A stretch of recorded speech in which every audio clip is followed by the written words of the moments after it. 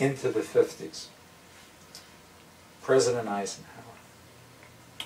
My recollection of President Eisenhower is that he played more golf than any human being on, that has ever been known uh, in the history of newspapers because the coverage of Ike's golf game was so extensive in the papers that I saw. It was unbelievable. I mean, you knew every step this man took on the links. And the last straw came in this one particular issue where Ike was on the front page playing golf, and way in the back, page uh, 227 down there in the corner, was a tiny little article that said, Scientists in Florida create life. It was the first time that people had taken amino acids and introduced an electrical charge into it and produced a living cell.